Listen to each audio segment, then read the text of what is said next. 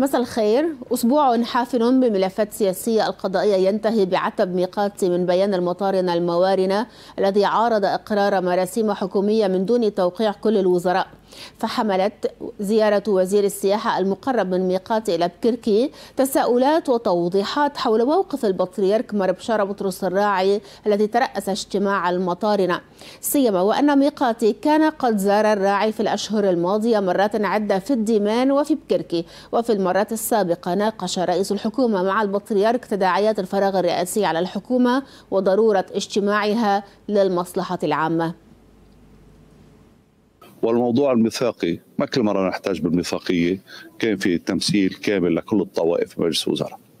أما الموضوع السياسي فعم ياخذ الموضوع أخذ وعطاء ولكن حنبقى نحن مصرين على متابعة أمر المواطن وعلى السهر عليه وعلى كمان لفت نظري صاحب الغبطة أنه يمكن الأفضل كان التشاور مع الوزراء جميعا قبل انعقاد مجلس الوزراء.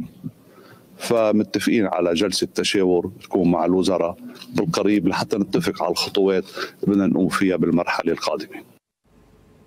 هذا الكلام لميقاتي. قاله من بكركي في الثاني عشر من كانون الأول الماضي بعد لقائه البطريرك الراعي مناقشا معه العمل الحكومي. وعليه تقول أوساط حكومية معنية أنه من المرتقب أن يشهد خط السراي بكركي اتصالات في المقبل من الأيام لمعالجة موقف بكركي المستجد وهي التي عبرت عن تفهمها للتوضيحات التي نقلها الوزير وليد نصار.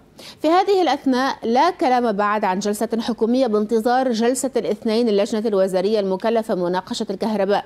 رئاسيا يبدو أن رئيس التيار الوطني الحر جبران باسيل سيستعيد حركته حركته الرئاسيه الأسبوع المقبل في اتصالات ولقاءات سيعقدها. وبانتظار حصول أي خرق رئاسي لا يزال الحديث عن اجتماع رباعي في باريس يراوح مكانه غير أن المؤكد بحسب المصادر الدبلوماسية المتابعة أن الاجتماع إن حصل سيكون اجتماع مستشارين وليس اجتماعا وزاريا على أن يضم هذا الاجتماع نزار العلولا والسفير السعودي وليد البخاري عن الجانب السعودي ومستشار الرئيس الفرنسي لشؤون أفريقيا والشرق الأوسط باتريك دوريل عن الجانب الفرنسي ومساعدة وزير الخارجية الأمريكية باربارا ليف عن الجانب الأمريكي بالإضافة إلى ممثل عن الجانب القطري. إلا أن اللافت أن المكلف بالتواصل باللغة العربية في الخارجية الفرنسية باتريس باولي قال أن لا اجتماع مؤكد حول لبنان. هناك حديث عن اجتماع قد يعقد في في باريس. فرنسي أمريكي قطري سعودي حول لبنان. هل تؤكدون هذا الأمر؟ هل تنفون؟ لا اليوم لا يمكن أن لا يمكنني أن أؤكد هذا الاجتماع. بس أنا يعني أقول إن فرنسا في تنسيق دائم مستمر مع كل شركائها في إجماع في مجلس الأمن في المجتمع الدولي حول لبنان. هذا شيء مهم جدا قاعدة مهمة حتى يعني نتقدم. فتنسيق مستمر لكن لن لكن لا تن... لا تؤكد لكن هل تنفي أن هناك اجتماع مقرر؟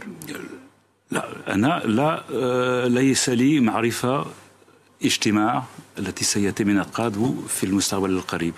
نحن في تنسيق نحن يعني نفكر في الأمور لكن لا أؤكد ذلك.